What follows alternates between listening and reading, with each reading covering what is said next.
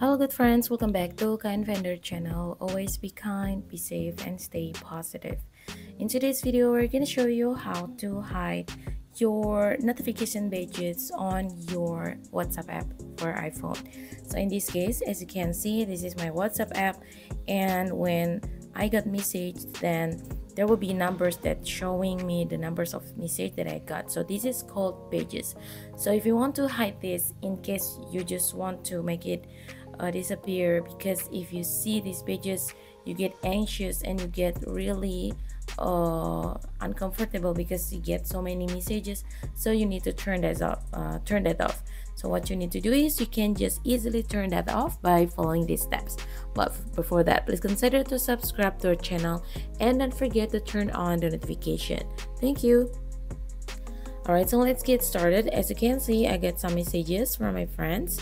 And now and I will show you when I open that messages. So the badges will disappear. And now I will show you how to turn that off. You how to turn off the badges what you need to do is you can go to settings. And from settings you can scroll down till you find there will be WhatsApp app. You can go to WhatsApp app.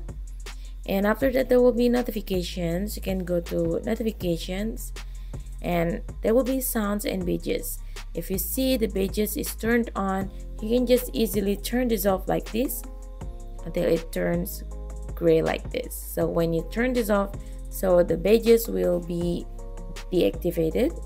It will be turned off. Now let's go back.